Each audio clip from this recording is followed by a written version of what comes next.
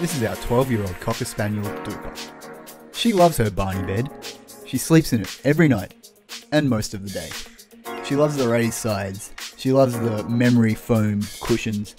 Little Duper loves to play in the mud and rarely wipes her feet before she comes inside, which is why the Barney bed's removable cover is so handy. She gets kind of mad when we don't move the Barney bed from the living room to the bedroom at night time. She's an old girl and she's getting sleepier, which is why we decided to invest in a Barney bed. Her aching bones.